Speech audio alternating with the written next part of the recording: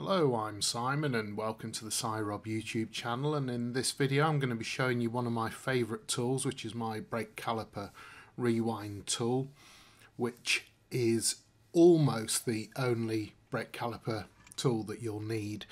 Um, doesn't work so well, well doesn't work at all on um, uh, calipers where you got pistons on both sides but on for most run-of-the-mill cars that you'll come across with a single piston it's an absolutely fantastic tool.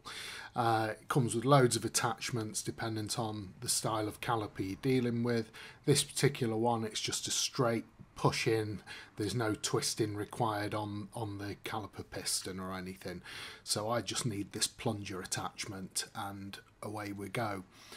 So all you do is you just take your time getting everything lined up. Um, you just want everything going in nice and square. So the preparation part is by far the most important bit.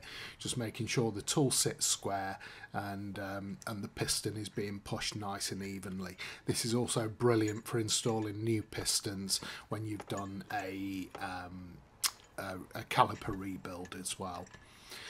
Now the reason for doing this video as well is just to show you how a lot of people I, I, I still see will push in a brake caliper piston when they're accommodating new pads, say after a disc and pad change or thicker discs, and um, and they'll just take off the brake fluid reservoir cap.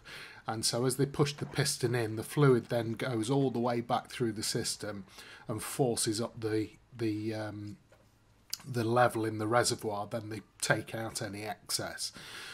But the the problem with that method is that on any car, the worst fluid in a caliper, uh, the worst brake fluid in the entire system is the fluid that's in the caliper. So I always, when I'm winding back the piston, I, I attach a hose to the brake bleed nipple undo the brake bleed nipple and then start winding in the piston.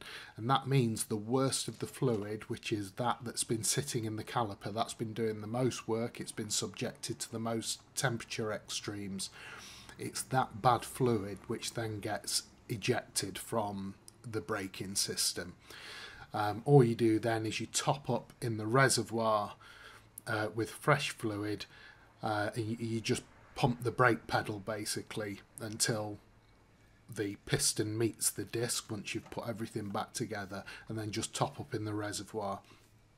So doing it this way means that you just squish out all of that really crappy fluid rather than pushing it back into the piston, uh, back into the caliper to give it a second chance. You don't want this fluid having a second chance. It's you know it's it's done its job, and uh, and so I mean of course I've got a tool where I uh, completely flush the system as well. You know, so there's there's nothing wrong with you know just doing a complete brake fluid refresh. It's just that if you are going to be winding in a piston, you may as well just crack off the bleed nipple and eject the worst fluid out of the system.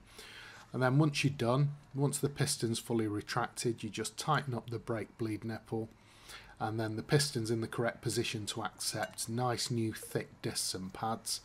And if you see the state of the fluid there, you'll see compared to new fluid, that is fluid that you do not want any longer in your brake system. And that's why I use this particular system rather than giving it a second chance. And that's it, just short video, and I hope you find it useful.